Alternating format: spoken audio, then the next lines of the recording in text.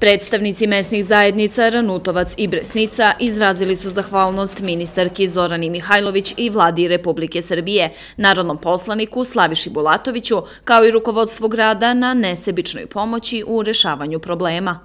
Rekonstrukcija ovog dela ovaj, puta je od velikog značaja za bezbednost ovaj, svih meštana sela Ranutovac i Bresnica, ovaj, ali i svih ostalih učesnika u saobraćaju.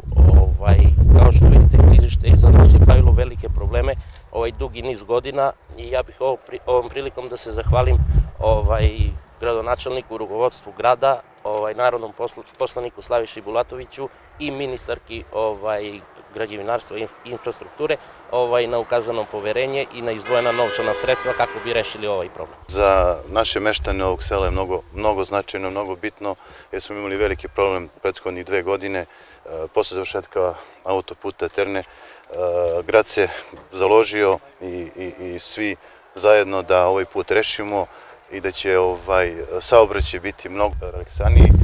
Sada ovo selo već ima i vodu, ima eh, struju, kanalizacija se rešava, tako da sve potrebne infrastrukture eh, za jedno selo koje je potrebno je već dovedeno. Ovo je veliki problem koji se rešava nakon dugog niza godina i zbog koga se saobraćaj već duže vreme ne odvija. Sanacija klizišta i gradnja potpornog zida povećaće stepen bezbednosti meštana Bresnice i Ranutovca januara meseca potpredsjednica vlade i ministarka građevine saobraćaja infrastrukture je bila u Vranju i mi smo tada izložili problem koji je na ovom državnom putu drugog reda.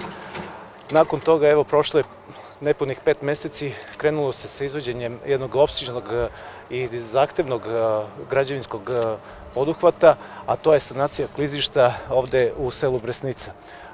Radi se sad ne samo klizište, već i kolovozna traka, potporni zid u dužini od 164 metara, visine 5 metara, ali ono što je najbitnije od svega to je da nakon zatvaranja naplatne rampe sigurno će ovde biti veća frekvencija saobraćaja. Vrednost investicije je 32,5 miliona dinara, a rok za završetak stotinu dana.